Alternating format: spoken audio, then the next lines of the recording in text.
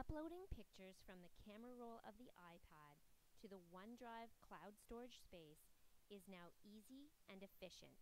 Click on the OneDrive app. Any other user of this device will have their credentials down the side. However, if I try to access their account, I will be denied because I don't have their sign-in credentials. Find your own account and click on it. This is great for shared devices in the classroom. My folders will come up, and I want to choose the folder where I want to store my pictures. This helps keep me organized. Click on the plus button in the top right-hand corner and choose Existing.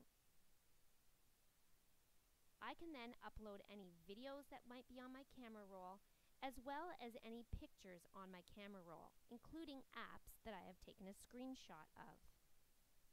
Click on the work that I want to share and click on Done.